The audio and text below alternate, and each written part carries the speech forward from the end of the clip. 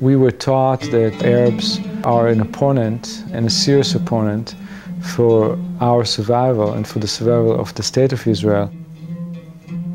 For me, it's a source of light, you know. When I meet a person from an opponent camp and we find the humanity in both of us and to do something, to create music, to create beauty, uh, to share that with people, I feel that, you know, this is the seed, you know, for overcoming the masses on both sides that are just involved in the darkness. For me, it's a great source of hope.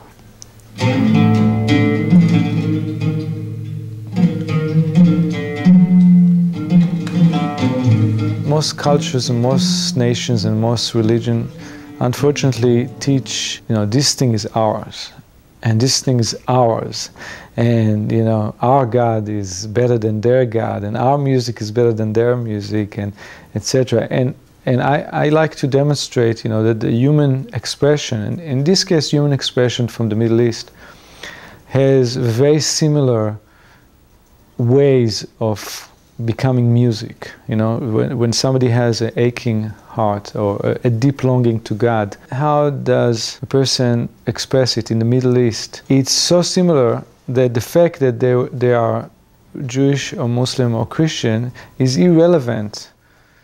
I take an Armenian tune that has the same building blocks as, an, as a Jewish tune, and I put them together.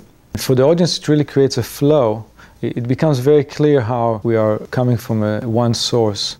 After one concert that we had, uh, there was a gentleman came to me and said, you know, I really like the concert and uh, I want to tell you that I'm Jewish and I know you're Jewish and why do you play all this Arabic music? Why didn't you give us some more Jewish music?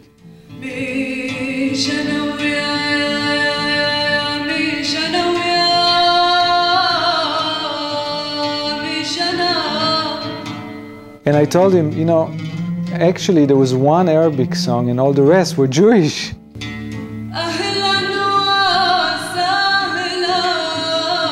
You know, there was a Jewish song from Morocco and there was a Jewish song from Spain, there was a Jewish song from Yemen, and, and on and on. And he labeled everything as Arabic, and once he labeled it as Arabic, immediately he made a block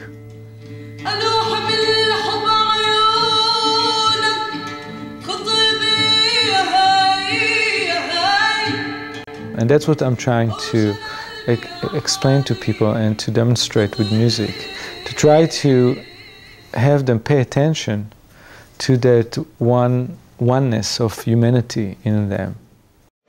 I remember when we finished the concert, and this is audience in the middle of Missouri, they never heard this music before, and they just start applauding and they didn't let us go. They just want us to continue. So we sat down and we started playing a song and the audience suddenly they held hands and they start dancing like folk dancing down the aisles, up and down the theater and it was spontaneous, they didn't know what they're doing, they didn't know what dance they're doing, they didn't know if it's the style, they didn't know, you know, it was just totally improvised. And it was, the, it was really something that comes from the music. We are artists. We, we work hard to find an artistic solution for a problem. Some great artists work on a symphony for 15 years. And I feel, you know, this is what we are lacking in politics. Imagine if people come up and say, we want our government to be more creative and more inspired in finding a peaceful solution.